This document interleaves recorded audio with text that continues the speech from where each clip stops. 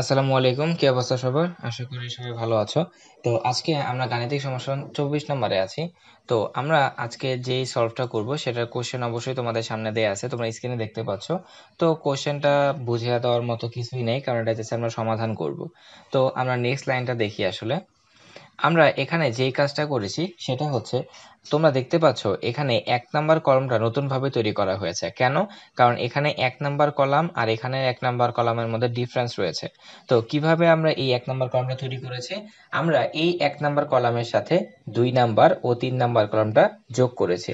কীভাবে? যেমন এখানে লেখা আছে three plus x plus four plus two এই যে হলো প্লাস ফোর আর এটা হলো প্লাস টু তাহলে হলো three plus x plus four plus two এরপরে four plus two plus x plus three এটা ছিল আমাদের কয় নাম্বার উপাদান? দুই নাম্বার উপাদান, দুই নাম্বার উপাদান দুই নাম্বার উপাদান। প্রথম কলামের দুই নাম্বার উপাদান, দ্বিতীয় কলামের দুই নাম্বার উপাদান, তৃতীয় কলামের দুই নাম্বার উপাদান। এখন আমরা এখানে দেখব two plus three plus four plus x তার মানে আমরা বুঝতে পারলাম যে আমাদের এক নাম্বার কলামটা তৈরি করা হয়েছে, দুই নাম্বার ও তিন নাম্বার কলাম, ও তিন এক নাম্বার কলাম যোগ করে। এরপরে আমরা নেক্সট লাইনটা দেখি।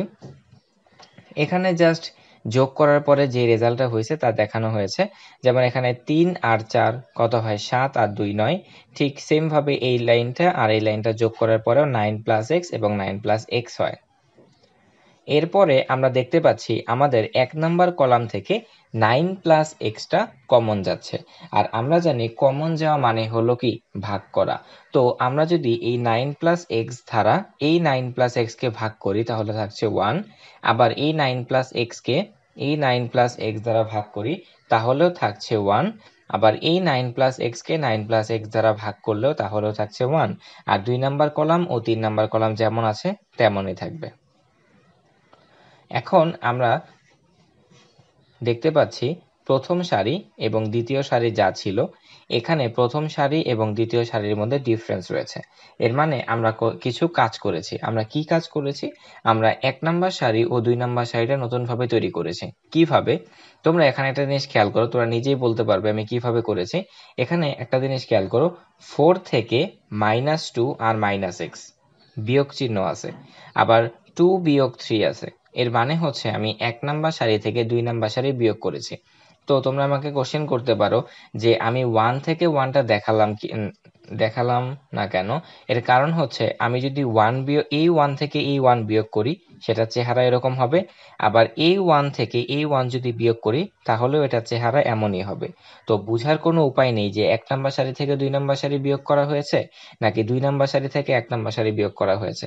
এই জন্য আমি এক্সাম্পল দিয়েছি এই দুইটার মাধ্যমে। কারণ আমরা এই দুইটার মাধ্যমে খুব সহজে বুঝতে পারি যে এক নাম্বার সারি থেকে দুই নাম্বার সারি বিয়োগ করে এক নাম্বার সারিটা নতুনভাবে তৈরি করা হয়েছে।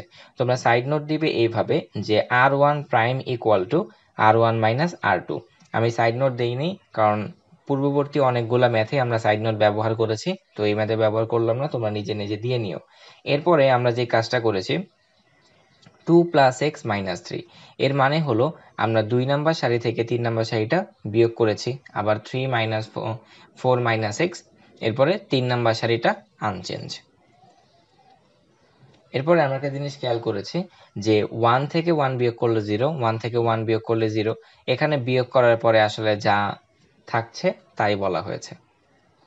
এখন আমরা একটা জিনিস খেয়াল করি যে আমি পূর্ববর্তী অনেকগুলো ম্যাথে বলেছি যে যেই সারি অথবা কলামে আমরা বেশি বেশি এরকম শূন্য পাবো, সেই কলাম বা সারির সাপেক্ষে আমরা কি করব? বিস্তার করব। তো আমরা যদি প্রথম কলামের সাপেক্ষে বিস্তার করি, তাহলে আমরা কি দেখতে পাই এখানে? এই জিরো সাপেক্ষে বিস্তার করলে জিনিসটা আলটিমেটলি কি হবে? জিরো হবে। কেননা, বিস্তার যেই লাইন যেই কলাম বা সারির সাপেক্ষে করতে হয়, সেই প্রত্যেকটা উপাদান দ্বারা তাকে গুণ করতে হয়। যেমন এখানে তোমরা দেখতে পাচ্ছ, আমি শুধুমাত্র এই এক নাম কলামের সাপেক্ষে বিস্তার করলেও আমি শুধু ওয়ানের সাপেক্ষে কাজটা করেছি। এর কারণ হলো দেখো ওয়ানের সাপেক্ষে যখন আমি বিস্তার করেছি, তখন ওয়ানটা গুণাকারে আছে। ঠিক এরকম ভাবে আমি যখন জিরো সাপেক্ষে বিস্তার করেছিলাম, তখন এটা জিরো হয়ে গেছিল। এজন্য আমি আর জিরো সাপেক্ষে বিস্তার করিনি, আমি ডিরেক্টলি ওয়ানের সাপেক্ষে বিস্তার করেছি। আর জিরো সাপেক্ষে বিস্তার না করে দেখাল কোনো সমস্যা নেই টিচাররা কোনো কিছু বলবে না। তো এখন ওয়ানের সাপেক্ষে যদি আমরা বিস্তার করি, তাহলে এই যে ওয়ান আছে, এই ওয়ানের সারিটা বাদ হয়ে যাবে আর কলামটা বাদ হয়ে যাবে। ঠিক এইভাবে এই ওয়ানে যে সারিটা আছে, সারি বাদ আর এই ওয়ানে যে কলামটা আছে, এই কলাম বাদ হয়ে যাবে। তাহলে বাকি থাকে কি? এই যে চারটা উপাদান, এই চারটা উপাদানটা আমাদের বাকি থাকতেছে। এই যে চারটা উপাদান, এই চারটা উপাদান বাকি থাকে। তাহলে এই চারটা উপাদানের মধ্যে আড়াআড়ি গুণ করা হবে। কীভাবে? Two minus x into minus one into minus x যেটা এইভাবে এখানে লেখা আছে। এরপরে মাইনাস চিহ্ন দিই। এখন এখানে প্লাস কেন দেওয়া হয়েছে? এর কারণ হলো, এখানে একটা জিনিস খেয়াল করো x minus one into minus one কি হবে? মাইনাস এক্স মাইনাস ওয়ান তো আমি যদি সেখান থেকে এই মাইনাস আমাদের এখানে একটা মাইনাস দেওয়ার কথা ছিল, এই মাইনাসটা আর এই ওয়ানের সাথে যে মাইনাসটা গুণ, তাহলে মাইনাসে মাইনাসে কি হয়? প্লাস আর এখানে হলো এক্স মাইনাস ওয়ান এখন আমরা এখানে দেখি যে minus two minus x into minus one minus x এই দুইটা জিনিসকে গুণ করা হয়েছে। তাহলে গুণ করলে কি হয়? Two minus one minus two two minus x minus two x আবার মাইনাস এক্স মাইনাস ওয়ান মাইনাসে মাইনাসে হয়ে যায় এখানে প্লাস আবার মাইনাস এক্স মাইনাস এক্স মাইনাসে মাইনাসে প্লাস আর x into x x square plus x প্লাসে মাইনাসে মাইনাস ওয়ান এখন এখানে আমরা দেখি যে মাই এখানে মেবি কি কোনো কিছু কাটাকাটি যায় না, কারণ এখানে আমরা দেখতে পাচ্ছি মাইনাস টু আর minus one minus three minus two x plus x plus x এখানে একটা জিনিস খেয়াল করো যে আমি একটা লাইন শর্ট করেছি, সেটা হলো এখানে কয়টা এক্স একটা এক্স আর এখানে একটা এক্স টোটাল হচ্ছে দুইটা এক্স মানে প্লাস টু এক্স তাহলে প্লাস টু এক্স আর এই যে মাইনাস টু এক্সটা আছে, কি হয়? কাটাকাটি হয়। আর বাকি থাকে মাইনাস টু আর minus one minus three plus হচ্ছে এক্স স্কোয়ার এরপরে আমরা যে জিনিসটা দেখতে পাচ্ছি যে এই লাইনে শুধুমাত্র এক্স স্কোয়ারটাকে সামনে আনা হয়েছে আর মাইনাস থ্রিটা এখানে লেখা হয়েছে। কারণ এক্স স্কোয়ার আগে আমরা কি আমাদের কি আছে? প্লাস আছে।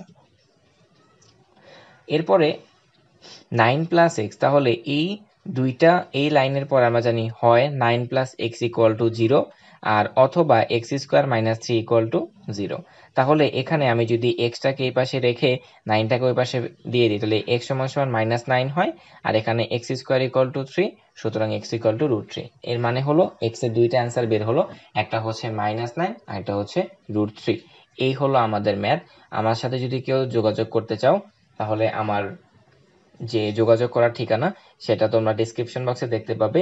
আর এর পূর্ববর্তী এবং পরবর্তী ম্যাথের লিংক আমি ডিসক্রিপশন বক্সে দিয়ে রাখছি। আর তোমরা যদি এই ম্যাথটা আমাদের স্মার্ট পিডিএফ এই ম্যাথ এবং এই প্লে লিস্টে যত ম্যাথ আছে, সবগুলো ম্যাথের তোমরা যদি স্মার্ট পিডিএফ নিতে চাও, আমাদের স্মার্ট পিডিএফটা কেমন হবে, সেটা একটা ভিডিও আছে আমাদের এই চ্যানেলের সেটার লিঙ্কও আমি ডিসক্রিপশন বক্সে দিয়ে রাখছি। আর সেটা হচ্ছে তোমরা যদি আমাদের ফেসবুক গ্রুপে জয়েন করতে চাও, আমাদের ফেসবুক গ্রুপ আমাদের ফেসবুক পেজের লিঙ্কও ডিসক্রিপশন বক্সে দেওয়া আছে। ধন্যবাদ।